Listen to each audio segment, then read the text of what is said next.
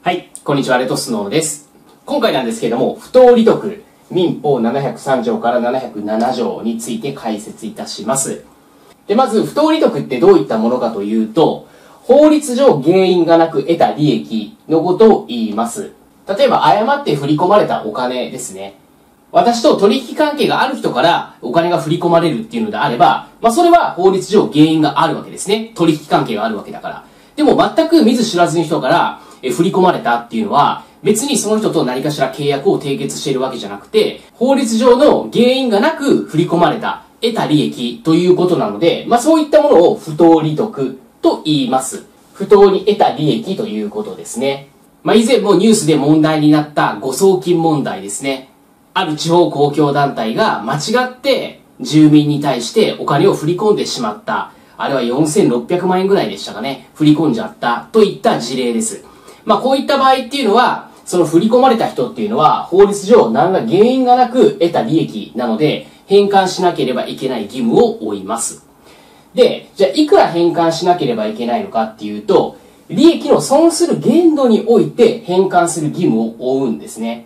で、この利益の損する限度、これ現存利益という言い方するんですけども、ここが一つキーワードになってきます。でも覚えていただくのはこの二つで大丈夫です。パチンコ台とか、まあ、競馬の馬券とか、あと協定とかですよね。まあ、そういったもので浪費してしまったといった場合、もうその部分については、この現存利益には含まれないんですね。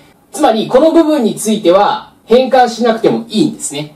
で、一方で生活費で使っちゃったとか、借金返済で使っちゃった。これは現存利益があるということになって、それは返還しなければいけないんですね。例えば10万円振り込まれて10万円生活費に使ったとか、10万円を借金返済に使った。これは10万円については現存利益があるとみなされて返還しなければなりません。なので、この点についてはもう覚えていただく方がいいと思います。で、続いて、悪意の受益者。これっていうのは、返還請求受けるってことを知っていて利益を得たものです。こういったものは、利息をつけて返還しなければなりません。また、損害を受けたというのであれば、損害賠償責任もこの人負わなければいけません。なので、返還請求を受けることを知っているのであれば、すぐに返してあげましょうっていう話です。もし返さないと、利息をつけて返還しなければいけないし、さらには、もし、損害を受けたというのであれば、損害賠償責任も負わなければいけませんので、まあ、早く返してあげましょうってことですね。その返してあげない間に間違ってね、振り込んだ人が損害受けたというのであれば、損害賠償請求までされちゃうことになりますので、まあ、早く返しましょうっていう話ですね。で、続いて、債務不存在を知って弁済をしたもの。例えば私が別に債務はないにもかかわらず、あなたに対して勝手にお金を振り込んだっていった場合ですね。こういった場合は返還請求ができません。こっちの場合っていうのは、誤って振り込んじゃったっていう場合なんですよ。間違えちゃった。こっちっていうのは、もともと債務がないってことを知ってるんですよね。自分自身知ってて振り込んでるわけだから、この場合は私、保護する必要性ないですよね。こっちは、誤って振り込んでるわけだから、その債務不存在っていうものを知らずに振り込んでるってことなんですよ。まあそういった違いがあるって話ですね。で、続いて、期限前の弁済。例えば私があなたからお金を借りました。1ヶ月後に、ま返済をする約束をしました。で、その1ヶ月よりも早い段階、例えば2週間経過した時に弁済しちゃいました。まあ、こういった場合ですね。こういった場合は、原則返還請求はできません。ただ例外として勘違い、錯誤があった場合ですね。錯誤があったというのであれば返還請求は可能です。まあもちろん1ヶ月後には返さないといけませんよ。期限までには返さないといけませんので、なんで1回返還してもらっても、1ヶ月後の、いわゆる期限には返済しなければならないと、まあ、いうことですね。で、続いて、他人の債務を自分の債務と誤信して勘違いをして弁済しちゃったといった場合です。例えば、あなたが負った債務なんだけれども、自分の債務と間違えて債権者に対して弁済しちゃった。つまり、債権者っていうのは、あなたとまあ何かしら、例えば貸金契約をして、あなたにお金を貸していた。だから債権者とあなたとのこう関係なんですよ。でも、私が間違って、え、自分が債務者じゃないのかと思ってこの債権者に弁済しちゃったといった場合です。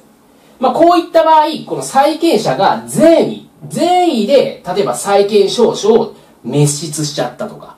まあ、つまり、これ債権証書っていうものは、例えばあなたにお金を貸していたっていう証書ですよね。まあ、そういったものをもう捨てちゃったとか。まあ、そういう場合です。そういった場合は返還請求もできません。つまり私がこの人に対して、債権者に対して、間違って弁済したんで返してくださいって言っても、それはできませんよ。相手方が善意だからですね。また、担保を放棄した。これはこの債権者とあなたとの間で貸金契約を締結していて、まあ、あなたの、え不動産に対して抵当権を設定していた。つまり、抵当権者はこの債権者ですね。で、私が間違って弁済してしまって、抵当権を消滅させちゃった。といった場合、まあ、これが担保放棄ですね。まあ、こういった場合も、債権者が善意なのであれば、その場合は返還請求できません。私は債権者に対して返してっていうことはできません。また、時効消滅してしまった。弁済した後に、時効期間がもう満了しちゃったっていう場合ですよね。まあそういった場合、私に対してお金返したとしても、もうあなたとの関係では、債権時効消滅してしまっているわけだから、困るわけですよね。この人としては、あ、時効完成する前に弁済を受けて、あ、よかったって思ってるんですよ。だからその期待というものを保護してあげましょう。ということで、この場合も返還請求できませんよ。っていうことですね。ただ、私はあなたに対して求償することはできます。つまり、この債務者っていうのはこの他人ですよね。他人の債務を私が間違って弁済してしまったっていうのであれば、あなた利益受けているわけだから、私はあなたに対して求償することはできますよ。っていう話ですね。まあ、不当利得に関する内容については、これだけ頭に入れておけば大丈夫です。今日も最後まで動画をご覧いただきましてありがとうございました。宅建合格目指して一緒に頑張っていきましょう